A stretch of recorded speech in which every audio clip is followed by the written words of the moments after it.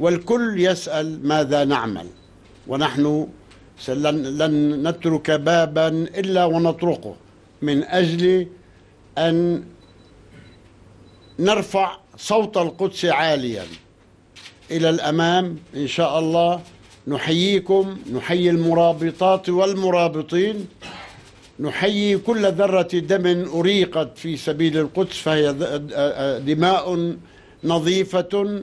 دماء نقية دماء في سبيل الله إن شاء الله وكل شهيد سيكون في الجنة وكل جريح سيكتب له الله الثواب.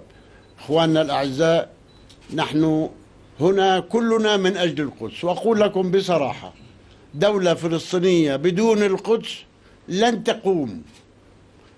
يجب أن تقوم الدولة الفلسطينية بعاصمتها القدس الشريف بعاصمتها القدس الشرقية بعاصمتها القدس التي احتلت عام 67 كل إجراءاتهم لن نسمح بها. هذه التقسيمات هذا الأقصى لنا. والقيامة لنا. كلها لنا. لا يحق لهم أن يدنسوها أن يدنسوها بأقدامهم القذرة. فلن نسمح لهم. وسنعمل كل ما نستطيع من أجل حماية القدس